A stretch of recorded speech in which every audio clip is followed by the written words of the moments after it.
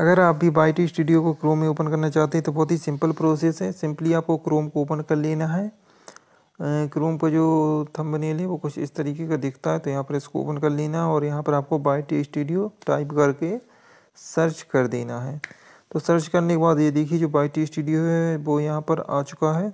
और साथ ही साथ यहाँ पर गूगल प्ले का भी लिंक है। तो अगर आप इसमें ऐप डाउनलोड करना चाहते हैं तो यहाँ पर by T studio Google Play का जो लिंक है, इस पर टैप कर दें और अगर आप मोबाइल फ़ोन में ओपन करना चाहते हैं डायरेक्टली क्रोम के ज़रिए तो यहाँ पर इस पर टैप कर दें।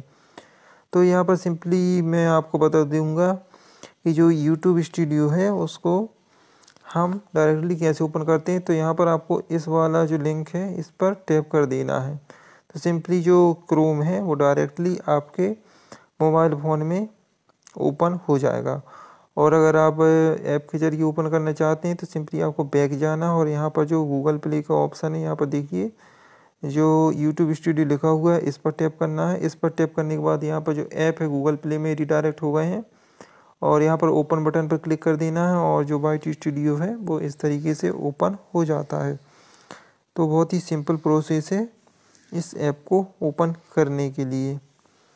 सिंपली आपको क्रोम में जाना है, वहाँ पर बाइट स्टूडियो सर्च करना है और क्रोम में आपका जो बाइट स्टूडियो है, वो ओपन हो जाएगा। ऊपर दो लिंक दी रही होंगी तो उन पर आप क्लिक करें और इस पर लॉगिन हो जाएँगे। तो मिलते हैं अगली वीडियो में, तब तक के लिए गुड बाय